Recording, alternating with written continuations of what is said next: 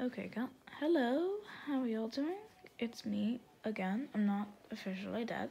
So, I want to talk about September's Suicide Prevention Month because everybody's talking about it, honestly. And, um, I live in Houston, Texas, which basically means like I live near the woodlands, and the woodlands is like the most suicidal, um, in like ever. So, I did not know that till today. So, I've heard about suicide. I've asked the question to myself many times about suicide. We should, I'll get there. I'll get there.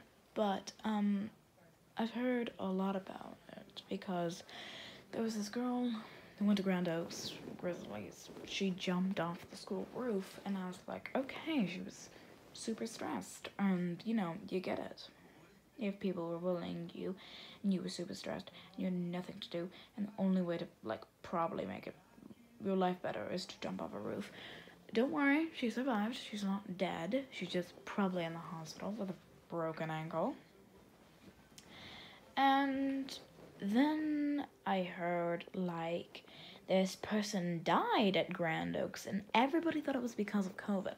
But the coroner did check and it was not because of covid I'm going to guess it was because of suicide. Because honestly, it's Grand Oaks as a high school. You get a lot of bullies. You get a lot of popularity contests. You get a lot of everything. So this is where I get into my own story. My parents have been divorced since I was like five, and I'm 13 currently right now.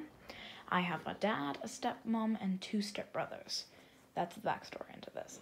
So basically, I'm like the oldest of two younger siblings.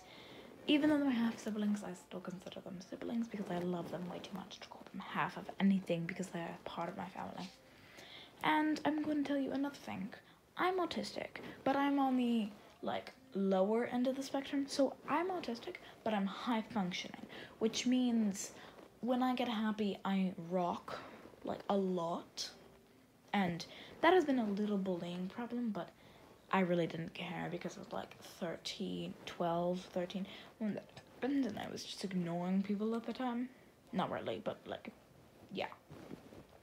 So I really didn't care. But no one bullied me for being autistic, of course, because I was on, you know, the low end of the spectrum and I was high functioning and I had perfect speech and nothing was wrong with me. When I was 12, I think it was when I was 12, when I was 12, um, I usually set the dinner table at my stepmom's house and at my regular house. Like, I would put out the napkins and set the table like any good child would do. And, um, I sat at the table, and my job was also to, like, put the napkins back in the napkin holder, and I forgot to. Because I was focused on doing other things like studying and whatever occupations a 12 year old had and I really wasn't concerned. My stepmom was just like, oh, you need to refill it. You didn't refill it. And I was like, okay, I'm sorry. You know, like, I'll refill it. And my dad, I don't know if it was jokingly, but I'm gonna take it as not jokingly. He was like, he was like, well, I don't really remember what he exactly said. He was like, you should have refilled it. Next time you don't do it, I'm going to not feed you. And I took that as a legitimate threat because it was a 12 year old, obviously. And he was like, You're so special. And honest to God, I cried. I cried while eating my food, and I cried staring at my stepmom, eye to eye. And she was staring at him, waiting for him to say something, and he was just eating. I've learned my father has no empathy for anybody but himself. He's a sympathetic bastard. I know I shouldn't say it, but he is. He's legit an ASS H O L E. Now, if you know what that means, thank you. I'm spelling it out so I don't get demonetized from YouTube. Thank you, YouTube. So, that night, I went to my bathroom and I cried my anger out. And I was like, okay, you obviously don't love me. You think I'm so special, apparently.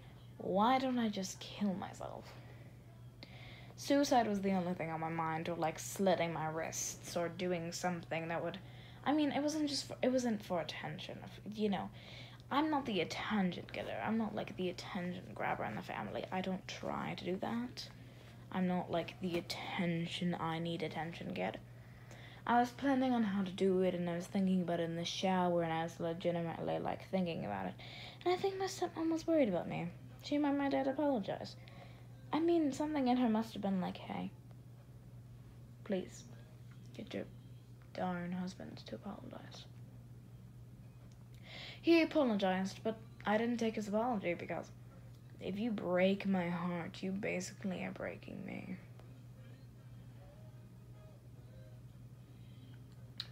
I didn't accept his apology. She asked why, I told her why, and we had a very nice conversation about it. Of course, nothing changed.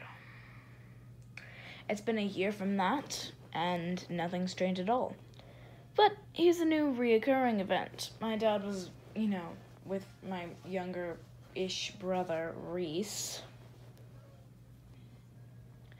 And I don't know what they were arguing about, but they were arguing about something to the point Daddy put him in chokehold. And I said, Stop it. You're acting like a child. And he legit said, I kid you not, you are so obese. You are as fat as an elephant. You are so obese. You should just kill yourself. And I almost had the audacity to say back, maybe I should just kill myself. Like, well, I mean, he didn't say you should just kill yourself. That's what I was thinking. Oh, wrong thing. But he just said that, and I was like, well, why don't I just kill myself? Because he said you should just die, not you should just kill yourself. And I was like, well, why don't I just kill myself? I was legit ready for. I was like, I have full intentions on screaming at you until my lungs burn. I was putting stuff up in the room casually because I was like, okay, I need to put this up. And I ran into him. Oopsie. He wanted to apologize, and I said no. That's not all I said. I screamed at him and told him exactly why I was eating.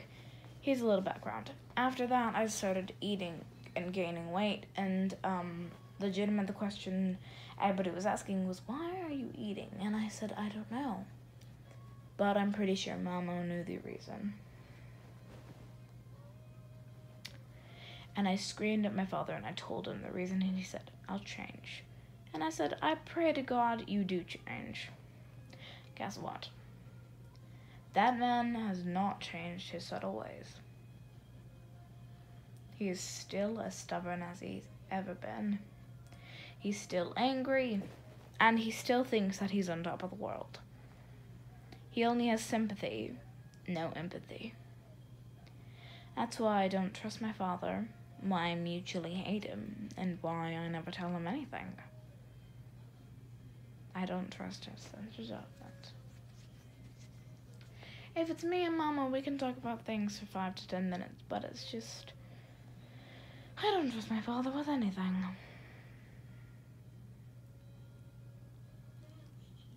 If I entrusted him with something, I feel like he would forget it.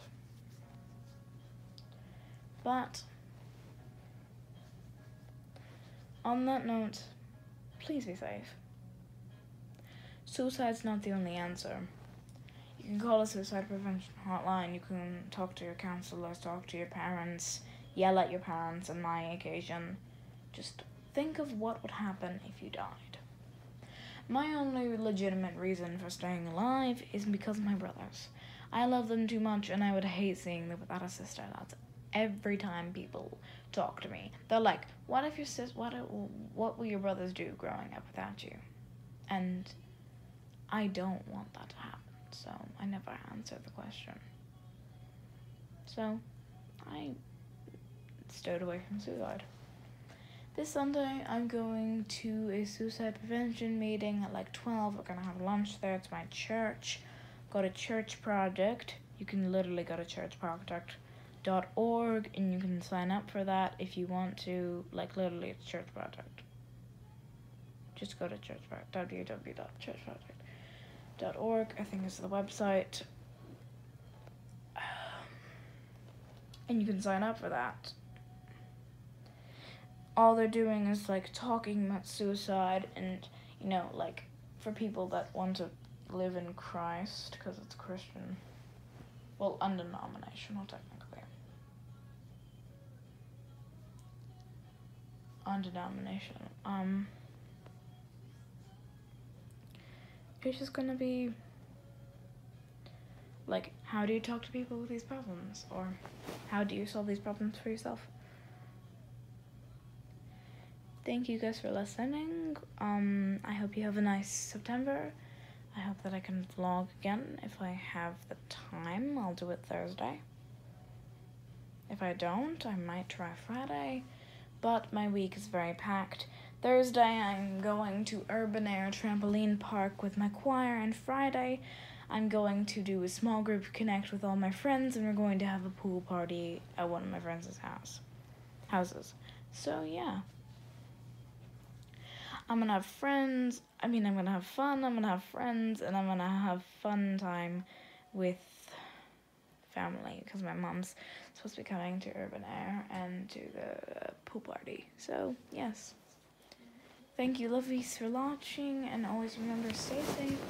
Don't commit suicide, and please, if you do feel like you want to die, go for the National Suicide Hotline. All you have to do is search it up. I don't know the number off the top of my head because I don't know the number off the top of my head. But I hope you guys have a nice rest of your September. Kisses to you all. Good night.